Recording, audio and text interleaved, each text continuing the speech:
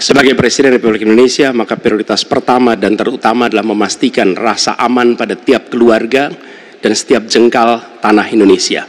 Dan itu artinya kita memastikan bahwa mereka yang diberi tugas untuk mengamankan dipikirkan kesejahteraannya. Memastikan bahwa kenaikan gaji tiap tahun, memastikan mereka punya rumah dinas, memastikan kesejahteraannya aman. Sehingga mereka bisa konsentrasi. Siapa itu? TNI, Polri, termasuk ASN di bidang pertahanan. Itu kunci nomor satu. Yang kedua, Ketika kita berbicara tentang menjaga keamanan, maka kita juga berbicara tentang bagaimana pelibatan kita di dalam kancah internasional.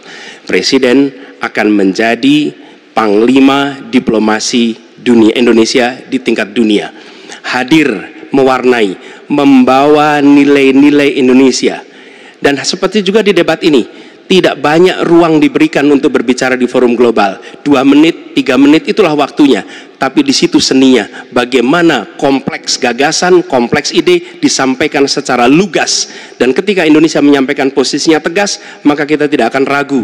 Kita memperjuangkan penghapusan penjajahan di muka dunia, maka Indonesia tidak sungkan untuk mengatakan pada negara mana pun, hentikan penjajahan di tanah Palestina dan usahakan itu lewat diplomasi ke seluruh tempat, bukan cuma sekedar statement dari Menteri Luar Negeri, tapi serius menjajagi seluruh kekuatan.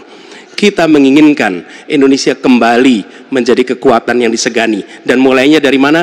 Dari pemimpin yang menjunjung tinggi etika, pemimpin yang menjunjung tinggi ilmu pengetahuan, pemimpin yang terbuka atas gagasan mempertahankan Indonesia atas ancaman-ancaman baru.